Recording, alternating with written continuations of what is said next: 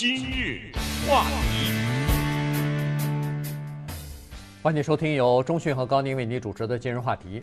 呃，在大都会就大都市生活呢，一般都会碰到一个问题，就是就是交通堵塞啊。那么在呃过去这个呃新冠疫情期间呢，呃有如果要是说有一个好处的话，就是这个交通堵塞的情况呢减少了，或者说是舒缓了许多啊。早晨。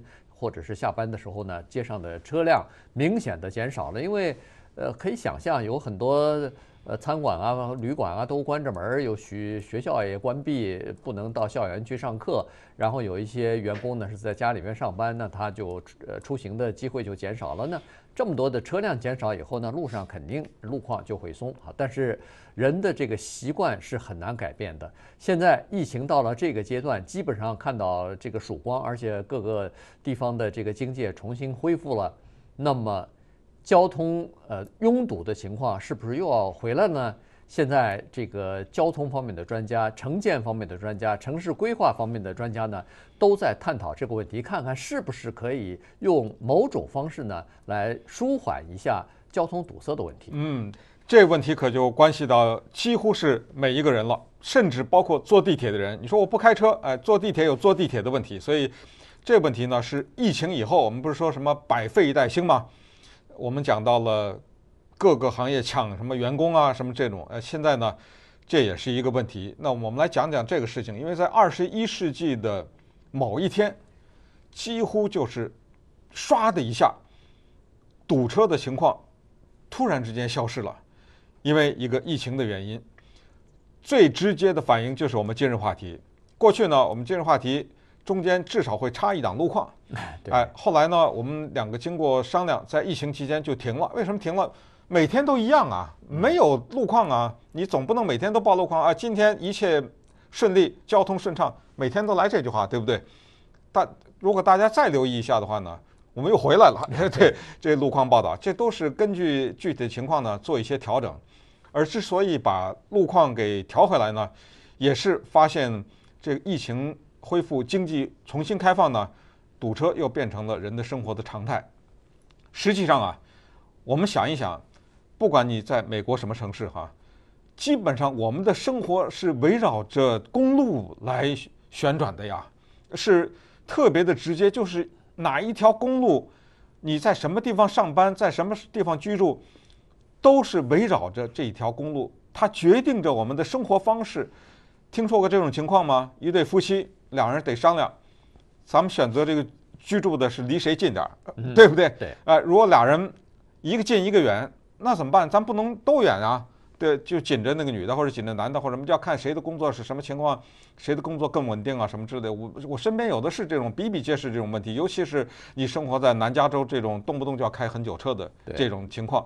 所以呢，我们来看一看疫情啊，它通过缓解交通呢，教给了我们一些什么东西，然后各个地方的政府学到了一些什么，也许。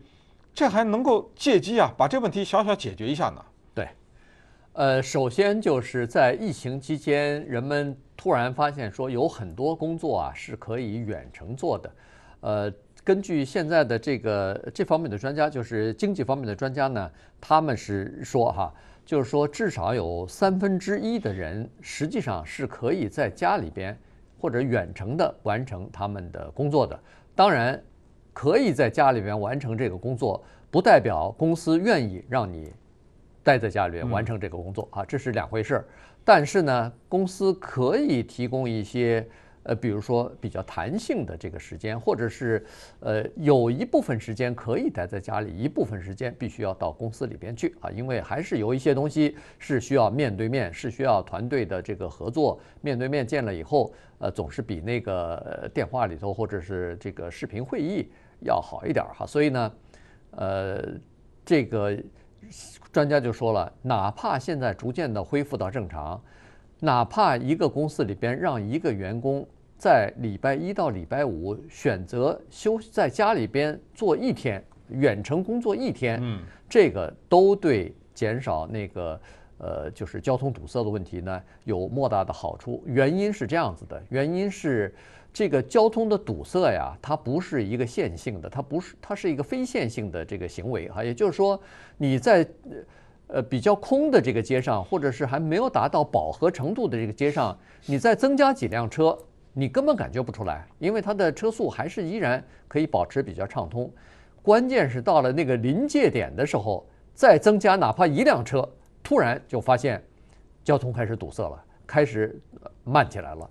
这个呢，就是叫做分非线性的这个关系。可是，当你接上也是一样哈，到了这个临界点的时候，你哪怕减少百分之一、百分之二的人流和车流的话，这个交通马上就可以顺畅起来。嗯，再举一个线性的例子和非线性的例子，就是地铁。这地铁呢，空空的。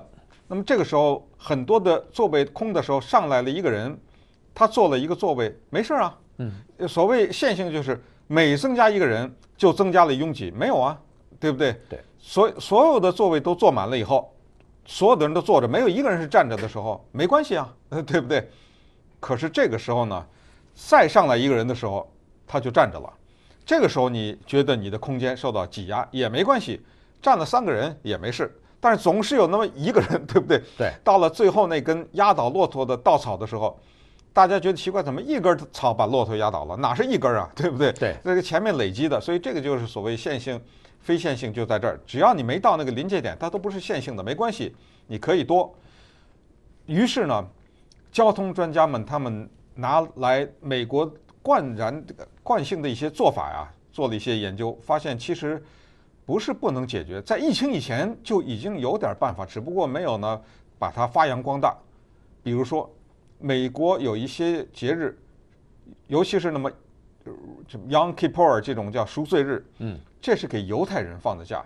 也就是说，在公司里面一百个人有三个犹太人，很多的公司就是这三个人放假，嗯，因为你是犹太人，其他人照常上班。当然，还有的公司更狠一点，就是说我尊重犹太人的传统，尽管我这个私人公司里面犹太人不多，但是我全放假。为了一时也有这个情况，但更可能的是，这个老板是犹太人，所以啊，对对对对对，这个 这个公司没错，全部放假了。哎，结果发现什么？咱们就拿那个美国的首都华盛顿 D.C. 来说呢，就发现这个情况。每次到了 Yom Kippur 这个赎罪日的时候，就那一天，唰的一下，那个交 交通就缓解了。对，哎，尽管只是犹太人，后来呢，联邦政府这还是说的首都华盛顿，它有一个叫做轮休制，就是在家里工作。这个跟疫情都没有关系啊，全都是疫情以前的。也发现，好像那个是礼拜五吧？对，礼拜五。嗯，联邦政府就是礼拜五的时候，比如说有一一些人在家工作，一些什么做一个小小的调整，一下子明显的在那一天交通堵的情况就减少百分之十到百分之十五。这个让我想到中国大陆有一个做法，什么单号车双号那个是不是？单号双号，嗯嗯，都是这样吧，就是可以做到的嘛，对不对？对，就是可以这个轮流。你在那个联邦政府呢，它是这样子，他有的人就选择你，比如说，呃，每天工作十个小时，有很多地方其实都有这种方法，所以。哦，来个四天，呃，对，四天就工作了四十个小时嘛。有有的医院啊，有的机关你是可以这么做的，当然不是说所有的人都这样，但是大家都是轮流的。你休礼拜五，我休礼拜一，他休礼拜几，这样的话呢，大家都上四天。但是不是说礼拜五大家全部关门了，我这个政府机构关门那也不行哈。所以呢，他基本上是这么轮班的、轮流的。那这样一来的话，就可以减，就是可以减轻一天的这个交通堵塞嘛。呃，然后再加上现在。呃，突然发现说有很多工作可以在家里边进行的话，再减掉一天的话，你想，那我们两三天这么一减的话，整个的交通堵塞就会好很多。今日话题，欢迎继续收听由中讯和高宁为您主持的《今日话题》。今天跟大家讲的呢是交通堵塞的问题啊，在洛杉矶、在纽约呢，这个情况是非常普遍的，尤其在我们南加州。呃，好像听说是全美国最堵塞的十条公路当中，有八条是在南加州啊，所以 我一点不吃惊。对，所以呃，在南加州开车的人是非常痛苦的，堵在车堵在车里边。其实有的时候呢，堵起来非常严重，但是即使不严重，在车里边待的时间那就是度日如年。就拿你来说吧，比如你有没有算过你记录？就有在你开始工作到现在，有没有某一次是你最长的一次单程？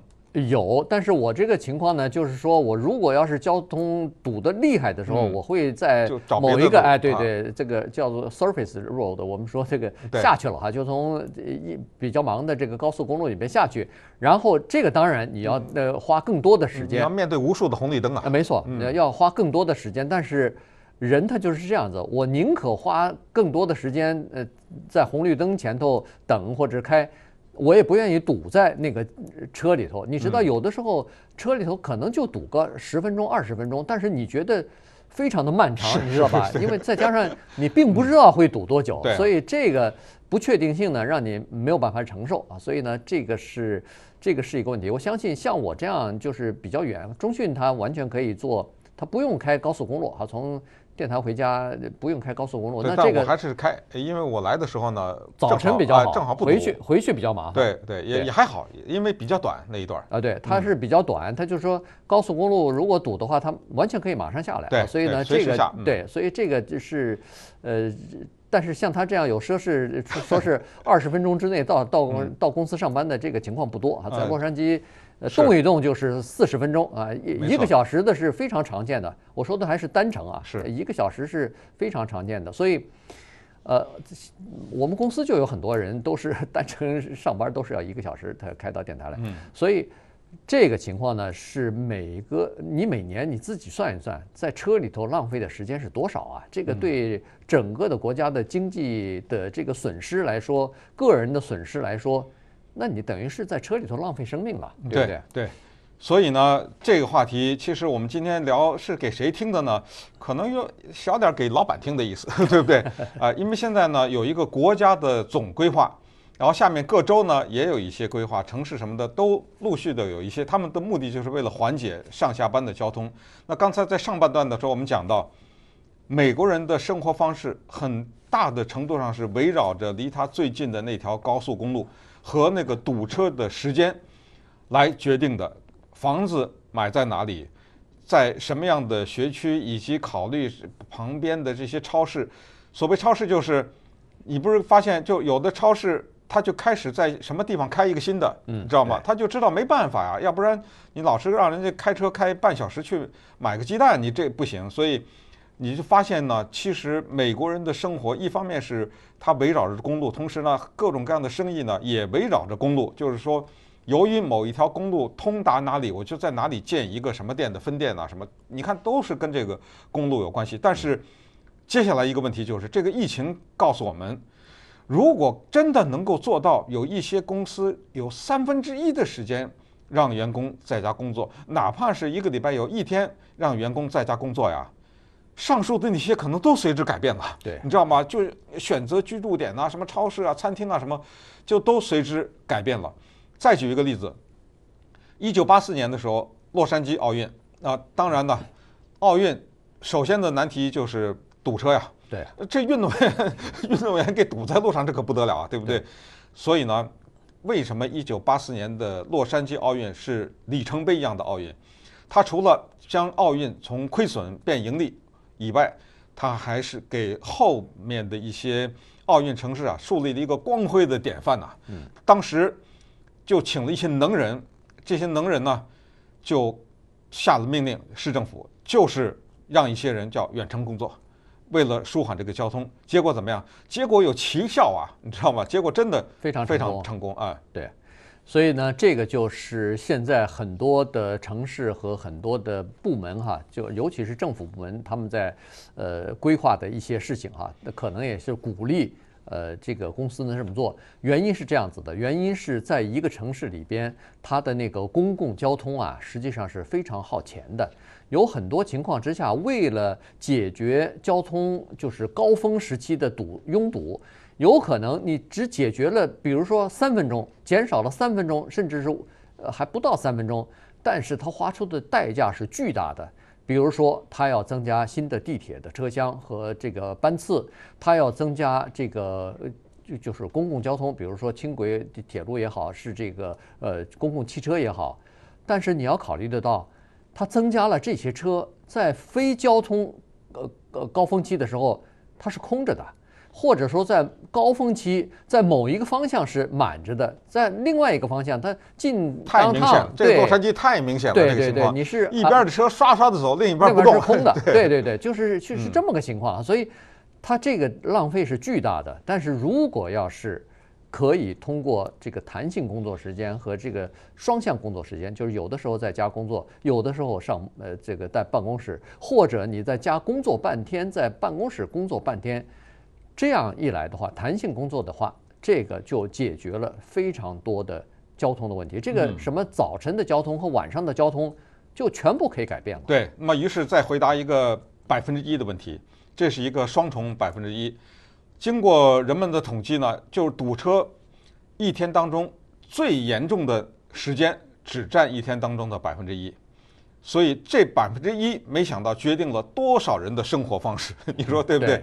然后另外一个意义的百分之一，就是大家自然会想到的有钱人，就是美国这个社会的百分之一。那我们试想一下，是什么人住的离他的工作的地方比较远呢？你就以高宁为例，那一定是收入高的人呐，对不对？因为什么？他住在郊区啊，对不对？美国的郊区是怎么来的呀？就是在郊区生活，在市中心上班，比较多是白领，对吧？那么这些人呢，他们构成堵车的一大部分。那你说那蓝领呢？蓝领更是如此，是什么呢？因为在疫情期间，突然我们明白了什么人可以在家工作呀？你去清扫房间那人能在家工作吗？对不对？你能在家给超市收银吗？这没有可能。所以一线的那些人，服务业的这些人呢，相对来说比较蓝领的这些人，他更需要公路，更需要顺畅。反而是过去制造堵车的那些白领的人呢，他可以在家工作了。对，这样的话，他反而能够对整体的交通的舒缓是有很大帮助的。就是让这些白领的人尽量在家工作，公司也提高了效率。白领的人他不用把时间花在路上了，他也开心，对不对？嗯。哦，之按照之前我们讲的那个话题。可以再多榨他点时间，对不对？把那个生活和工作的界限给模糊掉。嗯那么这样的话，人家蓝领的人不就不堵车了吗？对，生活中就少了焦虑了嘛。对，对不对？现在是这样子哈，就是说，呃，直接的受益者就是在家，比如说工作或者是减少呃这个交通呃通勤的这个时间，直接受益者是刚才所说的这些白领的人，在家可以工作的这些人。但是有一些必须服务行业当中的那些人呢，低收入的那些人呢，他们是没有太多选择的。也就是说，他们是叫做非受益者。他们当然上班的时候，呃，路上呃路上通了以后，他减少一些上班下班的这个时间，那是很好。但是呢，他们是属于呃无可奈何的，必须要到店里边要去上班的这些人。所以现在呢，政府正在考虑怎么样啊。能够让这个交通舒缓的这件事情，也让这些人受益，这样的话呢，才可以世界呃，才可以这个社会就更加公平嘛。